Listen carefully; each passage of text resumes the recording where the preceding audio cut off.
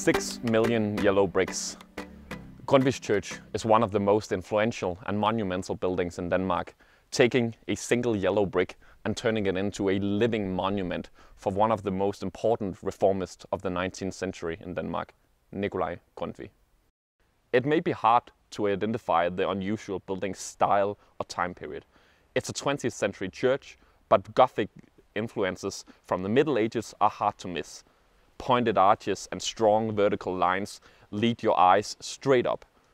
But despite its massive size, the church has a very human scale and warm atmosphere. Danish architect Peder Wilhelm Jensen Klint took Grundtvig's humanist approach and combined it with the stylistic classic Danish country church and turned it into what we see today. Construction started in 1928 and lasted until 1940. Klint died before the building was completed, but his son Kåre Klint finished the work and also designed the iconic wicker chairs now found in churches across Denmark.